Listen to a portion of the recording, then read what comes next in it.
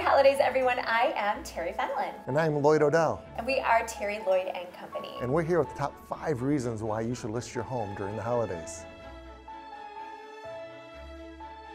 Now, the first reason that it is a great time to sell your home is that the buyers right now are serious buyers. Now, those buyers are just as busy as you and I, um, but they really need to find a home. So they're out there looking right now.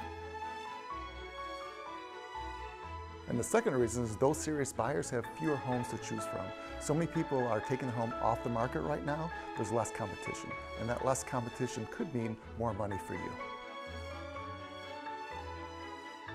Now, that third reason is my favorite reason, Lloyd, and that is that homes look beautiful during the holiday season. So, with the twinkling lights and the glitter and all the great decorations, your home is going to show beautifully.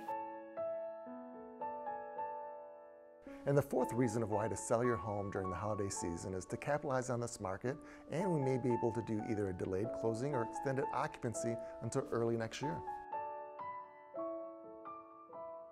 Lloyd, that rolls right in to number five. Selling right now also will make you a non-contingent buyer. It's from right now all the way up until the spring. So that gives you more leverage when shopping for your new home. So if you or anyone you know has been thinking about making a move, now could be the perfect time and we'd love to help you.